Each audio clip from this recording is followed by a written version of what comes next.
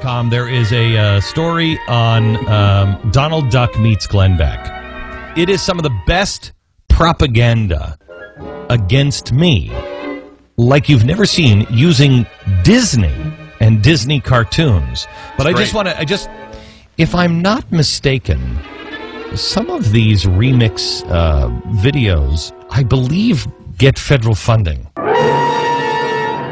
The communists, the socialists, the union organizers, Jonathan McIntosh, the enemies.